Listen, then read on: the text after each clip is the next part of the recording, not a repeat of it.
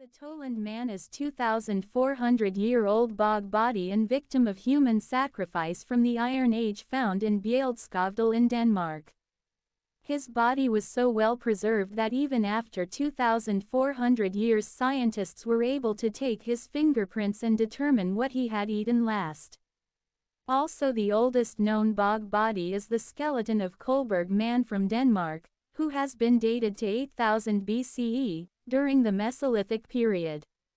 The oldest fleshed bog body is that of Cashel man, who dates to 2000 BCE during the Bronze Age.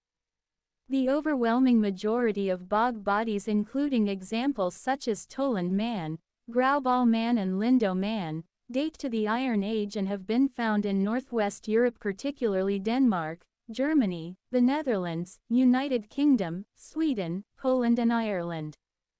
Such Iron Age bog bodies typically show a number of similarities, such as violent deaths and a lack of clothing which has led archaeologists to believe that they were killed and disposed in the bogs as a part of a widespread cultural tradition of human sacrifice or executed as criminals.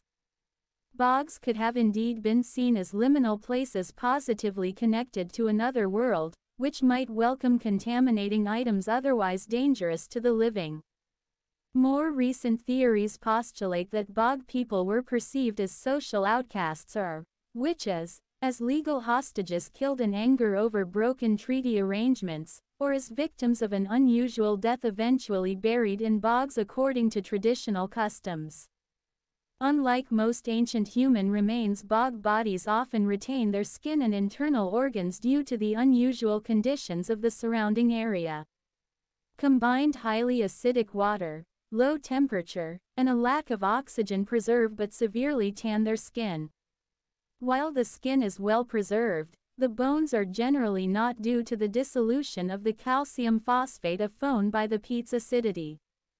The acidic conditions of these bogs allow for the preservation of materials such as skin, hair, nails, wool and leather which contain the protein.